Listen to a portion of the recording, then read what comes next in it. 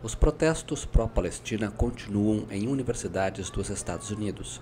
O conflito de Gaza provocou manifestações em vários campi americanos nos últimos dias, onde estudantes exigem o fim da guerra de Israel em Gaza. Na segunda-feira, um total de 133 pessoas foram detidas à noite após uma manifestação estudantil na Universidade de Nova York. Os detidos foram liberados, afirmou o porta-voz do Departamento de Polícia de Nova York. Quatro deles terão que comparecer perante um juiz, segundo a polícia. Mais de 100 estudantes foram detidos na semana passada na Universidade de Columbia, em Nova York, depois que o reitor pediu intervenção policial. Vários políticos, incluindo congressistas, acusaram os manifestantes de alimentar o antissemitismo, cujo debate também chegou à Casa Branca.